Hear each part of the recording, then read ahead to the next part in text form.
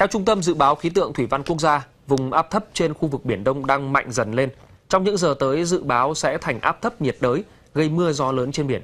Còn trên đất liền, cả nước có thể sẽ có mưa lớn. Do ảnh hưởng của giải hội tụ nhiệt đới nối với vùng áp thấp, sau có khả năng mạnh lên thành áp thấp nhiệt đới, kết hợp với hoạt động của gió mùa Tây Nam có xu hướng mạnh dần, nên ở vùng biển từ Bình Định đến Cà Mau, khu vực Biển Đông có gió cấp 5, sau tăng lên cấp 6, giật cấp 8, sóng cao từ 2 tới 4 mét biển động.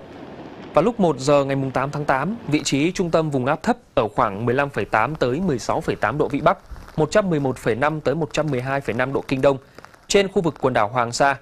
Dự báo trong 24 giờ tới, vùng áp thấp di chuyển theo hướng Tây Bắc, mỗi giờ đi được khoảng 5 km và có khả năng mạnh lên thành áp thấp nhiệt đới.